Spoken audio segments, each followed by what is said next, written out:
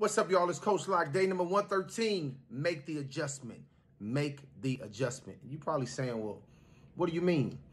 You know, a lot of times in life, things can be going a certain way, and we'll continue to keep it going a certain way. And we need to to adjust what we're doing, right? Another word I could have used for today was adaptability. I've been told that communication is the greatest thing in a relationship. I disagree with it. I think it's adaptability because if I'm with somebody in a relationship, business, marriage, whatever the case might be, and I communicate, I'm outgoing and they're an introvert, right? And they don't communicate well, I have to adapt to how they communicate, right? So I got to make the proper adjustment.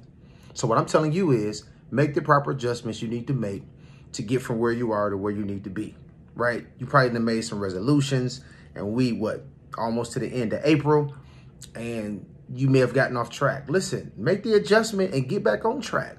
Okay? Maybe that cheat meal has turned from a cheat meal to a cheat day. You got to make the adjustments right because it's affecting you in a negative way. Takeaway for the day is when we lay down at night and our initial position becomes uncomfortable, what do we do? We simply adjust. I love you. Ain't nothing you can do about it. Obey God. He'll bless you real good. Make the necessary adjustments. I'll see you tomorrow. Peace.